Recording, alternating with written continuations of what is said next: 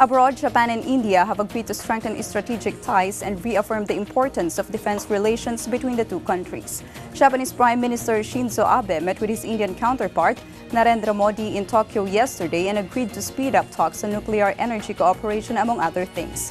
Analysts said the two leaders of Asia's second and third biggest economies are apparently keeping a wary eye on a rising China. A joint statement after the meeting declared that the two prime ministers have emphasized their shared commitment to maritime security, freedom of navigation, civil aviation safety, and the peaceful settlement of disputes in accordance with international law. Modi, on his first major foreign visit since taking office in May, was on a five-day trip aimed at bolstering security and business ties with Japan. In a veiled reference to China, the Indian Prime Minister said the 18th century situation of expansionism is now visible in Asia and that such an expansionism would never benefit humanity in the 21st century. For his part, the Japanese leader is bent on expanding his country's network of security partnerships with other countries to cope with the challenges presented by a resurgent China.